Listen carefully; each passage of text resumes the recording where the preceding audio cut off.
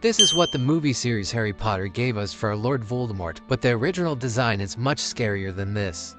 The original design was much scarier with an extended snout, long spiky teeth, and a huge mouth. If anything, it resembles the alien from Alien Resurrection. And this design had some fans online talking about just how scary it was. This was posted to Reddit and just listen to what this user had to say. Damn, I was already scared of the design they went with as a child. This one would have straight up traumatized me. And another user has stated, actually this design pays homage to Edward Mordake, the two-faced man of myth. It is said that he was born with the second face on the back of his head. Now, as a fan of Harry Potter, would you have rather gone with the one that they put in the movie series or the original that I showed you that they never released? You let me know down in the comment section.